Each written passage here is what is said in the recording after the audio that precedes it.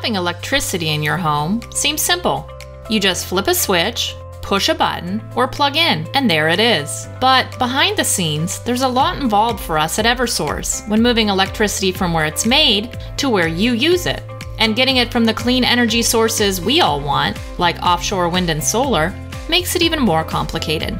An essential part of how power gets to your home is through the electric transmission system. This complex grid that moves energy long distances has served New England well for many decades but it is now aging and under stress, requiring it to be upgraded and expanded. Here are the challenges we face. First, there is an increasing reliance on electric powered products, and that means an increased need for reliable electricity. At the same time, climate change is bringing extreme temperatures that push our equipment and the grid to its limits, while also causing more severe storms that can damage our power lines and substations, and increase the risk of outages. And while clean energy resources will drastically reduce future carbon emissions, electricity demand will grow dramatically as we use more electric powered vehicles, heat pumps, and other products. Meeting this incredible demand and the region's ambitious carbon reduction goals will require adding massive amounts of new clean energy to the grid and modernizing our transmission system. To understand the updates we need to make, it helps to first understand how the electric grid delivers energy to your home.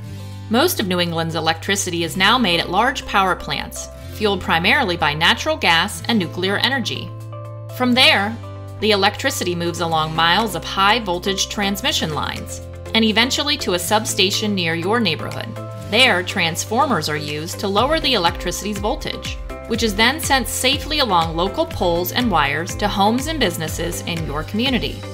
So, what updates to the Eversource transmission system are we working on to address a demand for electricity that will only get higher, the increase in severe weather patterns, and the expanded use of clean energy resources? We're building stronger transmission structures that support higher capacity power lines and making sure these structures and all our equipment will be more durable in severe weather. We're also expanding the transmission network to add the capacity that is necessary to deliver clean energy to customers from where it's generated, which can be hundreds of miles away. And we're upgrading our substations and building new ones so that electricity can be safely and reliably delivered to families and businesses across our service territory.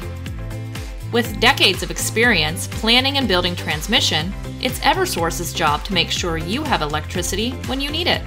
That's why we are working hard every day to upgrade the transmission system as cost effectively as possible to make a reliable clean energy future a reality where everyone can flip switches, push buttons, and plug in more than ever before without giving it a second thought.